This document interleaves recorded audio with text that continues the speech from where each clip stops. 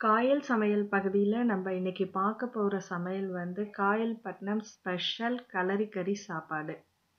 இந்த காயல்பட்டினத்தில் ரொம்ப ரொம்ப ஃபேமஸ் இது. ரொம்ப சிம்பிளாக செய்யக்கூடியது. வெறும் ஒயிட் ரைஸோட இந்த கலரி கறி கலரி கறி, கத்திரிக்காய், மாங்காய், ரசம் தான்.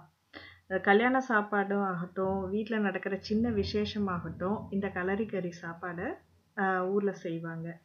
கலரி கறி சாப்பாடுன்னு சொன்னாலே போதும், நம்ம நாக்கை வந்து கட்டாயமாக கண்ட்ரோல் பண்ணவே முடியாது. செம்ம டேஸ்ட்டாக இருக்கும். அற்புதமான ஒரு சாப்பாடுனா, அது கலரி கறி சாப்பாடு தான். ஊரில் இருக்கிறவங்களுக்கு வந்து எப்படியும் அடிக்கடி சாப்பிட்ருவாங்க நம்மள மாதிரி வெளியூரில் இருக்கிறவங்களுக்கு வந்து இது கொஞ்சம் ரொம்ப மிஸ் பண்ணுவோம். ஸோ, இதுக்கு தேவையான பொருட்கள் என்னென்னன்றத நம்ம பார்க்க போகிறோம் இதோட அக்யூரேட் மெஷர்மெண்ட் வந்து நான் கீழே மெ சொல்லியிருக்கேன். அதை நீங்கள் வந்து நோட் பண்ணிங்க. இப்போ கறி வந்து நல்ல நான் அரை கிலோ கறி எடுத்திருக்கேன். எங்கள் ரெண்டு பேருக்காக இங்கே சமைக்கிறதுனால நான் அரை கிலோ கறி எடுத்திருக்கேன். அதை நல்லா கழுவி சுத்தமாக வச்சுருக்கேன் நெய் நூறு எம்எல் எடுத்திருக்கேன். நூறு கிராம். நெய்யும், தேங்காய் எண்ணெயும் தான் இதில் ரொம்ப நல்ல மனமாக இருக்கும். ஸோ, நம்ம வந்து அதுக்கு நல்ல பியூரான கீயும், தேங்காய் எண்ணெயும் யூஸ் பண்ணுங்கள் வெங்காயம் பொடிசாக நீட்டமாக நறுக்கி வச்சுங்க. பச்சை மிளகா மூணு கிராம்பு, பட்டை, ஏலக்காய் இதெல்லாம் வந்து கூட போட்டிங்கன்னா நல்லா வாசனையாக இருக்கும். கருவேப்பிலை நீட்ட நீட்டமாக இந்த மாதிரி முழுசாக எடுத்து வச்சுக்கோங்க ரொம்ப இலை கொஞ்சம். தேங்காய் பாலில் வந்து அரை கப் தேங்காய் பாலில் வந்து 25 கிராமு கசகசா, முந்திரி அரைச்சி விட்டுருக்கேன். கலந்து வச்சுருக்கேன் அது போக தயிர் இஞ்சி பூண்டு பேஸ்ட்டு, மஞ்சத்தூள் தனி மிளகாத்தூள் சீரகம், சோம்பு, மல்லி இலை மல்லித்தூள் சாரி, உப்பு. வெங்காயம், அதாவது பாதி வெங்காயத்தை ஃபஸ்ட்டு வந்து ரெண்டு வெங்காயம் சொல்லியிருக்கேன்னா, அதில் வந்து நீங்கள் பாதி வெங்காயம் எடுத்துக்கோங்க ஒரு வெங்காயம் போட்டுங்க. தயிரும் பாதி அதில் ஆட் பண்ணிங்க. இப்போ எடுத்து வச்சுருக்க அந்த மசாலா தூள், தனியாத்தூள் சோம்புத்தூள் உப்பு அதையும் போட்டுங்க. மிளகாத்தூள், தனி மிளகாத்தூள் அதாவது அது 25 கிராம் போட்டிருக்கேன்னா, அதில் பாதி மட்டும் போட்டு மீதி வந்து தனியாக எடுத்து வச்சுருங்க. மஞ்சத்தூளும் அதே மாதிரி தான் பாதி போட்டுங்க. நான் இதில் வந்து சக்தி மசாலா தூள் யூஸ் பண்ணியிருக்கேன். அது வந்து நல்லா காரமாக இருக்கும். ஸோ, அந்த நம்ம காரத்துக்கு ஏற்ற மாதிரி நம்ம அட்ஜஸ்ட் பண்ணிக்கணும். இஞ்சி பூண்டு பேஸ்ட்டும் அதில் பாதி தான். பச்சை மிளகா பாதி போடுங்க. ஏற்கனவே மூணு சொல்லியிருக்கேன்னா, அதில் ஒன்று போடுங்க. கருவேப்பிலை நீட்டமாக இப்படியே போட்டுருங்க. போட்டு நல்லா கையை வச்சு பிசைஞ்சு மசாலாலாம் எல்லாத்துலேயும் படுற மாதிரி ஒரு ஃபைவ் மினிட்ஸ் வச்சுருங்க அதை இப்போ தயிரோட தாளிப்புக்கு தேவையான பொருட்கள் போட போகிறோம் தயிரில் வந்து இஞ்சி பூண்டு பேஸ்ட், மீதி இருக்கிற இஞ்சி பூண்டு பேஸ்ட்டு, பட்டை, கிராம்பு, ஏலக்காய். ஏலக்காய் நிறைய போட்டிங்கன்னா நல்லா வாசனையாக இருக்கும். சிலர் வந்து இடித்து அதை கொஞ்ச நேரம் தண்ணியில் போட்டுட்டு அதை யூஸ் பண்ணுறாங்க அப்படியும் நம்ம யூஸ் பண்ணிக்கலாம். நான் இதில் வந்து டைரெக்டாக யூஸ் பண்ணியிருக்கேன். பச்சை மிளகாய், கருவேப்பிலை எல்லாத்தையும் ஒரு சின்ன பவுலில் போட்டிங்கன்னா மிக்ஸ் பண்ணுறதுக்கு ஈஸியாக இருக்கும்.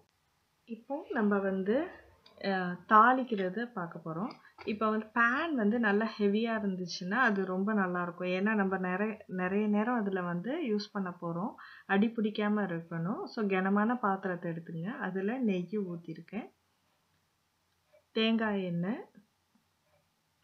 நெய்யும், தேங்காய் எண்ணெயும் தான் நல்ல வாசனைய கொடுக்கும் ஸோ, அது கிரேவி பதமும் நமக்கு வேணும்னாலும், இது இதுதான் நமக்கு தேவை.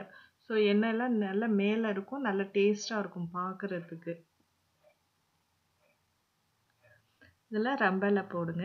ரம்ப சிலர் வந்து சின்ன சின்ன பீஸா கட் பண்ணி போடுவாங்க. நான் வந்து அப்படி முழுசாக போட்டுட்டு அப்புறம் கடைசியாக எடுத்துருவேன் நான் நம்ம உங்களுக்கு தேவைன்னா, அதை நீங்கள் ஃபுல்லாகவே போட்டுக்கலாம்.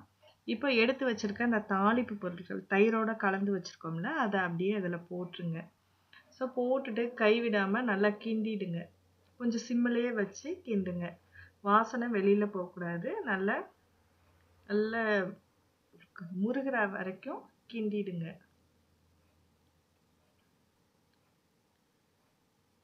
இப்போ அதில் இருக்கிற மீதி மசாலா தூள் மஞ்சத்தூள் இந்த மசாலா தூளும், மஞ்சத்தூளும் வந்து நல்லா கலரி கறிக்கு வந்து கலர் கொடுக்குறதே அதுதான்.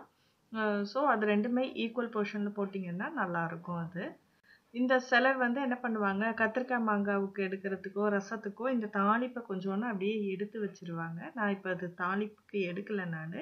தனியாக தான் அது கத்திரிக்காய், மாங்காவுக்கு நான் தாளிச்சிருக்கேன். ஸோ, வந்து இதிலே வந்து நான் ஃப்ரை பண்ணிகிட்ருக்கிறேன் கொஞ்ச நேரம் நல்லா மூடி போட்டு வதக்குங்க. அதுக்கப்புறம் நம்ம பெரட்டி வச்சுருக்கிற கறியை போடுங்க. கறியும் போட்டுட்டு மீதி நம்ம கட் பண்ணி வச்சுருக்கோம்ல வெங்காயத்தையும் அதுக்கு மேலேயே போட்டுருங்க. போட்டு நல்லா ப கலந்துடுங்க. மசாலா எல்லா இடத்துலையும் படுற மாதிரி ப படட்டும். சிம்மில் வச்சுட்டு மூடி போட்டு ஒரு ஃபைவ் மினிட்ஸ் அது வந்து குக் பண்ணுங்க. அதுக்கப்புறம் நம்ம ஓப்பன் பண்ணி கறி வேகிற அளவுக்கு கொஞ்சம் ஒரு மூணு டம்ளர் அல்லது நான் மூணு டம்ளர் தண்ணி ஊற்றுங்க கறி வேகிற அளவுக்கு. ஏன்னா நம்ம வந்து ஸ்லோ ஃபயரில் குக் பண்ண போகிறோம் ரொம்ப நேரம் தண்ணி இல்லைன்னா அது வந்து பிடிச்சிரும். ஸோ அதனால் நம்ம வந்து என்ன பண்ணியிருக்கேன் தண்ணி தேவையான அளவுக்கு ஊற்றிருக்கேன் இடையில இடையில அப்பப்போ கொஞ்சம் கிண்டி விடுங்க. இப்போ கறி வெந்ததுக்கு அப்புறம் ஒரு தேர்ட்டி மினிட்ஸ் ஆயிருக்கு இப்போது அதுக்கப்புறம் கறி வெந்ததுக்கப்புறம் ஓரளவு முக்கால் பதம் வெந்ததுக்கப்புறம் வாழைக்காவையும் மாங்காவையும் இதில் போட்டிருக்கேன். வாழைக்காவை ஒரு வாழைக்காய் போட்டிருக்கேன். அதை நாலாக கட் பண்ணி நாலு பீஸாவோ ஆறு பீஸாவோ போட்டுக்கலாம் மாங்காய் வந்து ஒரு சின்ன துண்டு தான் போட்டிருக்கேன். இது மிக்ஸ் பண்ணதுக்கு அப்புறம் நம்ம தேங்காய் பால் தேங்காய் பாலோட கசகசா முந்திரி பருப்பையும் அரைச்சி விட்டுருக்கேன். அது ரெண்டுத்தையும் கலந்து இதோட மிக்ஸ் பண்ணிடுங்க. கிரேவி கொடுக்க போகிறது இதுதான். ஆனால் ரொம்ப கிரேவிலாம் வரும்ன்றதை இது சொல்ல முடியாது. ஏன்னா இந்த ஆணம் வந்து ரொம்ப தண்ணியெல்லாம் இருக்காது. திக்காக இருக்கும். மேலே நல்லா எண்ணெய் விட்டுட்டு ரொம்ப நல்லா இருக்கும் பார்க்குறதுக்கே ஸோ இப்போ நம்ம மூடி போட்டு அகைன் திரும்பவும் வந்து ஒரு டென் டு ஃபிஃப்டீன் மினிட்ஸ் அதாவது அந்த பச்சை வாசனை போகிற வரைக்கும் திரும்ப நம்ம குக் பண்ணுறோம் அதை. குக் பண்ணதுக்கப்புறம் இப்போ ஓப்பன் பண்ணிங்கன்னா மேலே நல்லா எண்ணெய் விட்டுட்டு கறி நல்லா பாயில் ஆகி வெந்து ரொம்ப நல்லாயிருக்கும் பார்க்குறதுக்கே நல்லாயிருக்கும் வாசனை வீடையே கம கமன்ட்டு இருக்கும். ரொம்ப டேஸ்ட்டாக இருக்கும். ஸோ இதே மாதிரி நம்ம ஊரில் வந்து என்ன பண்ணுவாங்கன்னா ஒரு பெரிய சகனில் இந்த ரைஸ் வச்சு அதில் கத்திரிக்காய் மாங்காய் கொஞ்சம் ஒரு கிண்ணத்தில் வந்து கறி கொஞ்சம் ஒரு கிண்ணத்தில் ரசம். இப்படி வச்சு சகன் சாப்பாடுன்னு சொல்லுவாங்க. இந்த சகனை வந்து கல்யாண வீட்டில் பண்ணும்போது மூணு இது லேடிஸ்னால் மூணு பேர் ஒன்றா உட்காந்து சாப்பிடுவோம். அதே வந்து ஜென்ஸாக இருந்தால் ரெண்டு பேர் உட்காந்து கீழே உட்காந்து ஒரு ஓலைப்பாய் போட்டு சாப்பிடுவோம். அந்த மாதிரி ஒரு ரொம்ப நல்லாயிருக்கும் சொல்ல தெரியல என்னால்.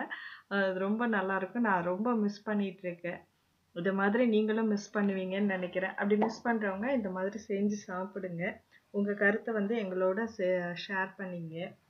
பிடிச்சிருந்துச்சின்னா சப்ஸ்கிரைப் பண்ணுங்கள் நம்ம காயல் ரெசிபீஸ் வந்து தொடர்ந்து வந்துக்கிட்டே இருக்கும். இன்ஷா அல்லா ட்ரை பண்ணுறேன் நான் சாப்பிட ரெடி ஆகிட்டேன்